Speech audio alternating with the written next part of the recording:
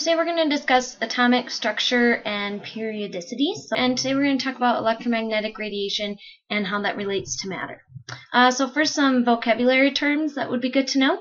Uh, electromagnetic radiation is basically energy that exhibits wave-like behavior and travels through space at the speed of light um, if we're in a vacuum. And so this includes diff several different wavelengths. Um, and there are three characteristics of a wave. So we have wavelength, which is the Greek symbol lambda, which is the distance between two consecutive peaks or troughs, or basically one point on one wave to the same point on the next wave. Frequency, which is the Greek symbol nu, it looks kind of like a V, but it has this curved part here. So it's not a straight V, it's a V with a curve. And that's the number of waves or cycles per second that pass a given point in space. So it's, you know, how frequent do the waves pass by. And then the third one is speed, which we're going to use a small c for that variable. All types of electromagnetic radiation travel at the speed of light. Okay, and so c is what we're going to use for the speed of light specifically. There is a relationship that exists between wavelength and frequency. Um, waves with the shortest wavelength have the highest frequency. So if you take a look at this chart, we have short wavelength, so our distance is very minimal. And because we have such a short wavelength, we can put a lot more waves within the same period of time. And so we have a very high frequency because we have more crests passing by that point. Uh, waves with a longer wavelength have a lower frequency. So as you can see, there aren't as many waves passing by the same point. So this would be what we call an inverse relationship because the longer the wavelength, the smaller, the lower the frequency. And so we can write this in terms of a an equation. So we have wavelength times frequency is equal to c, which is represents the speed of light. So wavelength we're going to have in meters. Uh, frequency is cycles per second, which is equal to 1 over seconds, or hertz, which is capital Hz. Another way to write 1 over seconds is seconds to the negative 1. Speed of light, or c, is 2.9979 times 10 to the 8 meters per second. And so because speed of light is in meters per second, we need to make sure our wavelength is in meters. Now usually it's in nanometers, so you're going to have to convert. And that conversion is 1 times 10 to the 9th nanometers is equal to 1 meter. So here are all the different types of electromagnetic radiation. We've got radio waves having a very long wavelength, so a low frequency, all the way to gamma rays, which have a very short wavelength and so a very high frequency. And visible light is kind of somewhere in the middle. Okay, so let's figure out how to find frequency. So if our wavelength is 650 nanometers, we want to find frequency. Well, we know that uh, the equation is speed of light is equal to wavelength times frequency. Well, since speed of light is 2.996779 times 10 to the 8th meters per second, we know that we want our wavelength in meters as well. And so we can convert this 1 times 10 to the 9th nanometers in 1 meter. Since we're dividing, that's going to make it negative, and since this is 6.50 times 10 to the second, that gives us 6.50 times 10 to the negative 7 meters. Now we can rearrange this equation to solve for frequency. And now we just plug in. Divide that by our wavelength. And we end up getting 4.61 times 10 to the 14th seconds to the negative 1 Oh, I see that my units are wrong here. This should just be meters, not meters per second. So in that case, then we do get seconds to the negative 1. We could also write this as hertz. Okay, let's look at how this relates to energy and matter, since we're going to relate this to matter. In the 1900s, um, we said that matter consisted of particles, and that energy uh, in the form of light consisted of waves. So that's where we get our electromagnetic radiation that represents lots of different forms of energy. And so we said well, originally that matter and light or energy don't go together. Okay, but then um, a guy named Max Planck came along and he found that matter could absorb and emit energy in these whole number quantities or these amounts. Okay, and so he found a way to relate matter and energy to each other. Um, and he also discovered what he called Planck's constant, which we're going to use a small h, and that's 6.626 times 10 to the negative 34 joule seconds. And if you remember, joule represents energy. So joule is an energy unit. So then we could take this and rearrange to find that that change in energy, or that energy that's getting emitted or absorbed, is equal to n times h times v. And n represents an integer. And that V, or the nu, is the frequency of electromagnetic radiation either absorbed or emitted. So we said that um, matter could only absorb energy in these whole number quantities. And so these quantities or these packets are called quantums. So let's use that to solve another problem. So the blue color in fireworks is often achieved by heating copper 1 chloride to 1200 degrees Celsius. Then the compound emits blue light having a wavelength of 450 nanometers what is the increment of energy, or the quantum, that is emitted at 4.50 times 10 to the second nanometers by CuCl? So we're going to do three significant figures. Okay, so we know that in order to find delta E, it's equal to h times the frequency. From the previous slide, we just looked at that equation. So we know that we're going to need to find frequency before we can solve for delta E. Well, we know from the previous problem that frequency is equal to speed of light over wavelength. We know speed of light is 2.9979 times 10 to the 8th meters per second. And we need to convert our wavelength into meters. Well, 450 nanometers is equal to 4.50 times 10 to the negative 7th meters. So when we divide those two numbers, we get 6.66 times 10 to the 14th seconds to the negative 1. So that's our frequency, and now we can take that and plug it into our energy equation. So delta E is equal to H, which is Planck's constant, which is 6.626 times 10 to the negative 34 joule seconds. And we're going to multiply that by the frequency that we just solved for, 6.66 times 10 to the 14th seconds to the negative 1. Well, as you can see, our second units are going to cancel, giving us just joules, which works out for energy. So when we multiply those two numbers together, we get 4.41 times 10 to the negative 19 joules. So that's the increment of energy, or the quantum, released um, at that wavelength.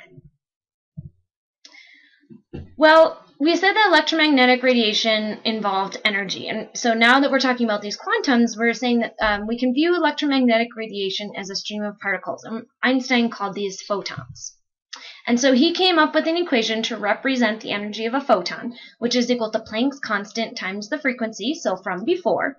And we know that frequency is equal to speed of light divided by wavelength, so that's what we're doing here is just substituting in.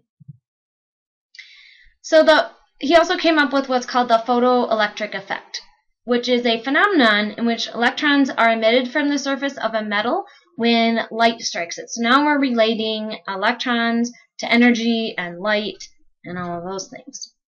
So he said, well, the minimum energy to remove an electron is equal to E sub naught, which is equal to Planck's constant times frequency sub naught. So we could use this light and figure out the amount of energy.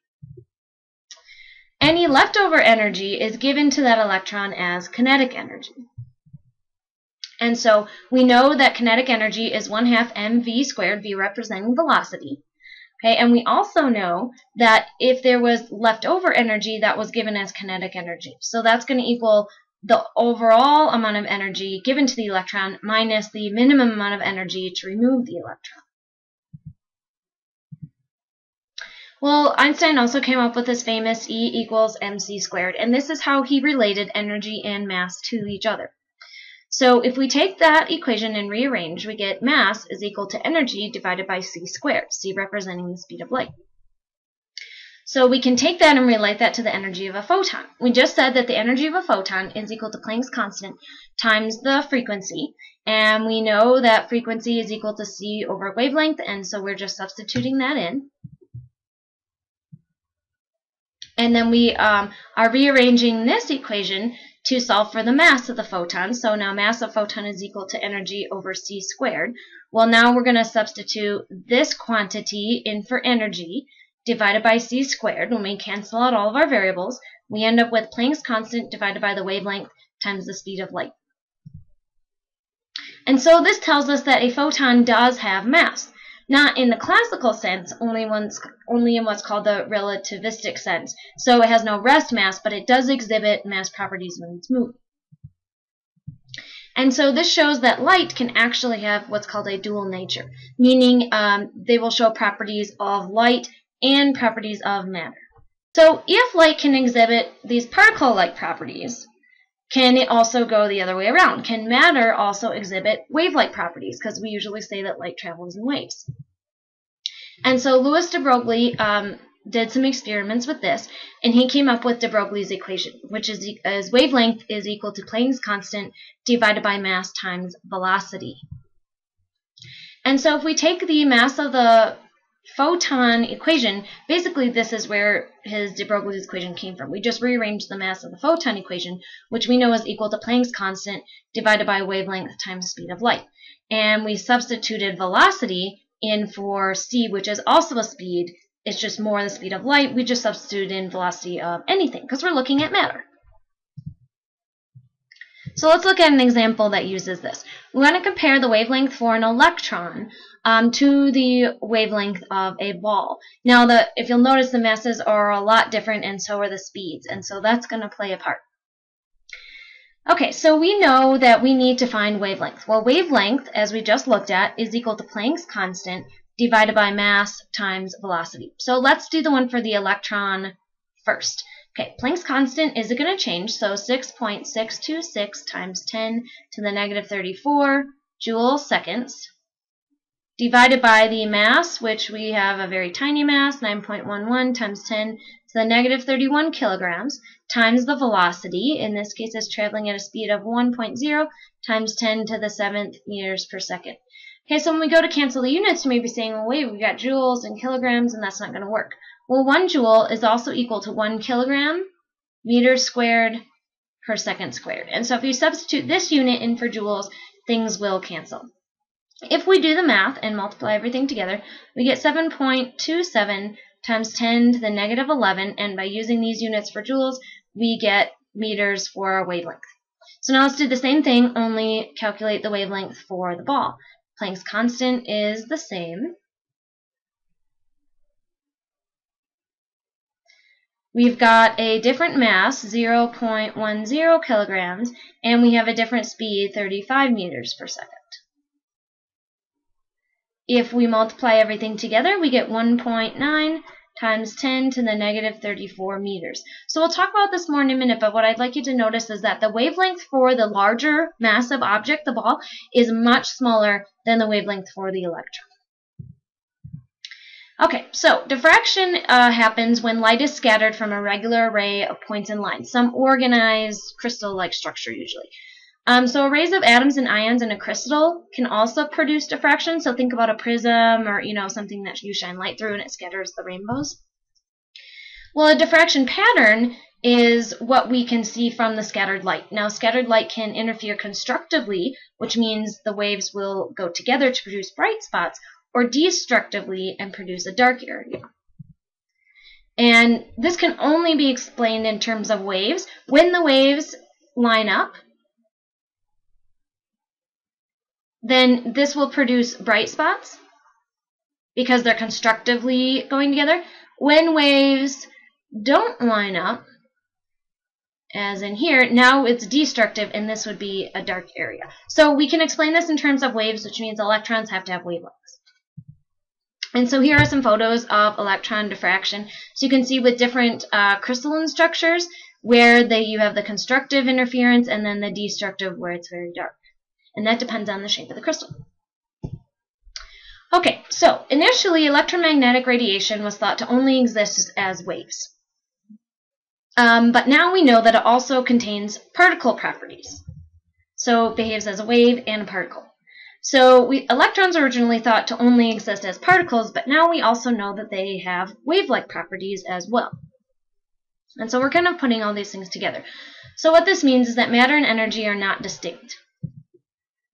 Okay, so going back to the example, large pieces of matter will exhibit predominantly particle properties. So even though energy and matter are not distinct, it doesn't mean that you know they're going to have equal effects. It's going to be based on other properties like the size of, of the object. So a large piece of matter will exhibit particle properties predominantly.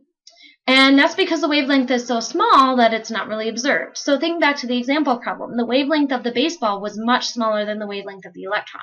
So it's a larger object, it's more massive. Very small pieces of matter will exhibit predominantly wave properties. So a photon, which is that little packet of energy, is going to exhibit mainly wave-like properties. Whereas a medium piece of matter, and in this case, a medium piece of matter would be an electron, they exhibit both wave and particle properties. So if you notice, the wavelength was um, still small, okay, but not as small as the baseball.